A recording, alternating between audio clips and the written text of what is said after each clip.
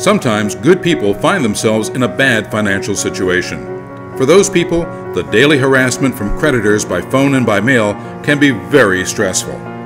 Every day, things seem to go from bad to worse, and the idea of filing bankruptcy seems like a desperate last resort.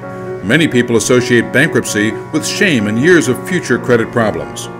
But in truth, the bankruptcy laws were written to protect those facing financial hardships and to help them get a fresh start.